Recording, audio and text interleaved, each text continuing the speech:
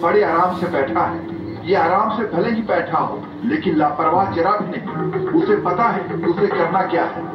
ज़मीन से करीब 20 फीट ऊपर पेड़ के पत्तों की ओट में बैठे तेंदुए को अपने शिकार का इंतज़ार है वो बेहद चौकन्ना है और उसकी नज़रें ज़मीन पर ही टिकी है। वेटिंग का काउंटडाउन शुरू हो चुका है। सामने पेड़ की टहनी के किनारे पर बैठी गिलहरी शोर कर रही थी। ताकि जंगल के बाकी जानवर अलर्ट हो जाएँ। वो बता रही थी कि शिकारी तैयार है और उसे शिकार का इंतज़ार है। लेकिन इन सबसे बेखबर इम्पाला अपनी ही मस्ती में था।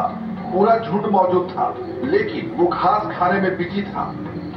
आगे पीछे देखकर वो अपने दुश्मनों पर भी नज़र रख रहा था। लेकिन यहाँ खतरा आमने सामने से नहीं बल्कि ऊपर से था और बेचारा इम्पाला इससे बिल्कुल अनजान था।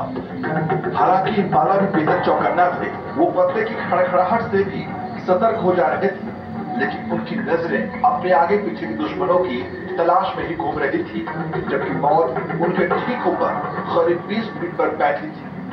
सिर्फ़ ये बाकी था कि आज किस इम्पाला